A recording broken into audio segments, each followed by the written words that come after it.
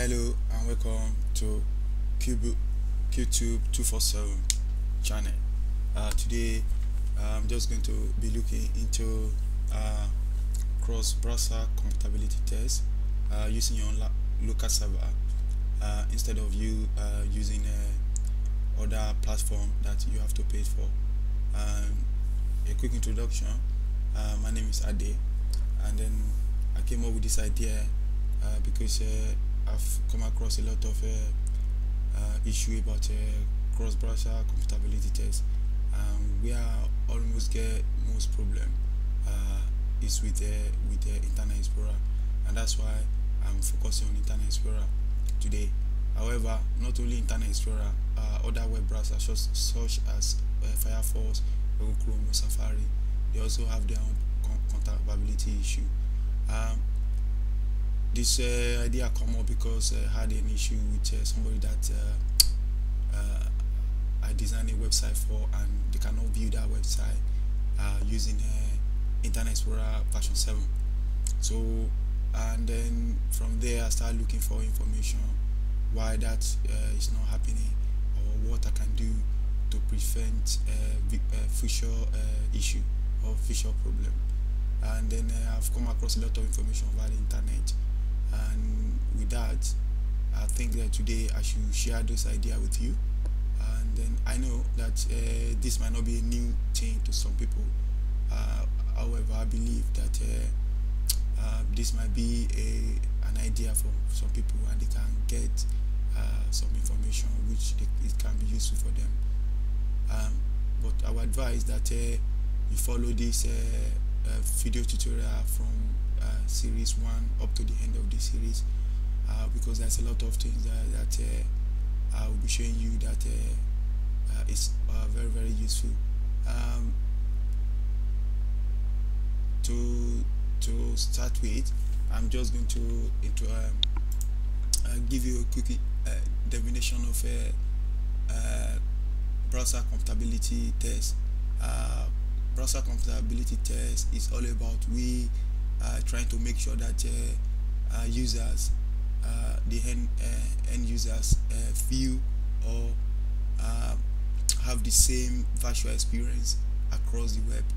And then not only that, that we'll be thinking about uh, we also have to think about uh, operating system com compatibility issue and then uh, screen resolution as, as as today almost 70% of mobile uh, Uh, phone uh, they access uh, uh, the um, um, 70 percent of people today access the uh, the website or access internet with with their mobile. So we need to consider using a you know a very small width such as 800 by 600 and then um, if uh, at the end of the day um, I don't think that I'm going to be able to look into anything about uh, operating system compatibility test or screen resolution compatibility test today. But I'll be looking into uh, Internet Explorer versus uh, CSS3 uh, which is uh, basically to show to you uh, some kind of problem that you may come across in terms of a compatibility issue and some solution. And then um, as I've said the aim today is just to uh, you know uh, give you a, a, very minimum trick that uh, you can use uh, to test your um, application before production level without going to any platform uh, whereby you, you're going to pay. And then uh, it's going to require you you know to have a very high standard bandwidth. And then um, what we're just going to be doing today. We're just going to be switching uh, compatibility mode using the meta tag uh, from one version to another version. And then from there if you think that uh, that is not of use to you uh, there's other uh, free um, platform over the internet that you can use to do your uh, cross compatibility test but I bet you none of this uh, is free. Take for example uh, let me see super view and then um, you see that if you go there they're going to tell you uh, expression web SuperPreview um, about seven year blah blah. So if you look at it it's saying to you uh, is of um, uh, trial. So anything with trial will end up that you have to pay. But what I'm showing you today you don't have to pay anything. You're just going to use your lo lo local server. If you go again to another uh, platform um, which is this uh, brass all you see even though they, they tell you all this story here they will ask you to download this um, it's a trial. It's not it's not it's a trial version. That means after your trial version you will have to pay but my dear the trick i'm showing you today uh, you don't have to pay anything.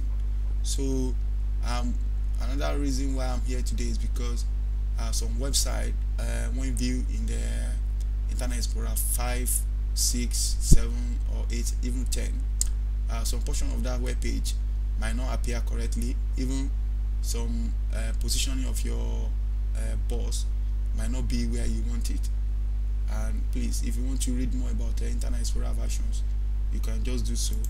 And then um, I'll be talking about CSS you know CSS is a very powerful uh, programming language. Uh, it makes things happen the way you want it. Uh, you want to create a circle just like what you are seeing here. And then you don't need to make a picture to be circle because too many images on a in an application affects uh, the loading time as well. So but if you use um, css it can create something that will look similar to image that you think that uh, you have to put. So uh, you can also read more about uh, css over the internet as well. And then um, what i'm going to be doing today is to switch uh, from this version to another version. I will start with 6 7 8 9 and then uh, we see how it looks like I got all this information from um, from this uh, website. This where I get that this information from. And then um, you can also go there and uh, you know uh, msdn.microsoft.com um, whereby you can read more about uh, compatibility mode and then uh, the meaning of this uh, document type. Uh, as it is now it, it says document type but they are the the advice or recommendation is that we have to make it null so that whereby you just uh, had uh, um, uh, is, is this is there exclamation mark or something like that to make it look null so that you know the it's going to run in a quickie mode? And then um, from there uh, I'm going to show you some problem that uh, we we might encounter and then um, I'll start you know telling you about a boss positioning on the page uh, using margin zero and auto which is going to just uh, make our boss or anything to be in a position in a central position without have to use uh, uh any other thing. And then uh, shadow yeah we all know about shadow. If like now this uh, pursue means that uh, you want the shadow to be um, left that's a um, I think left uh, that's a left um, that's left bottom right top. So and then the same thing we can create a text shadow which is going to create a shadow around the, a text like um, what you are seeing here which is this is a shadow and what is happening with the text is made uh, with a, a, a shadow uh, is your shadow. And to create a circle and then I'm going to show you how to create a circle by just um, the, the, the width. You want to first of all make sure that uh, the boss is in a in a square form. And then when I say square form that means the length and the breadth have to be equal. So if you have 50 for width you must have uh, 50 for height. So what's going to happen later? You multiply this by 4 which is going to give you 200 and then you're going to have a very sharp circle uh, like what you are like like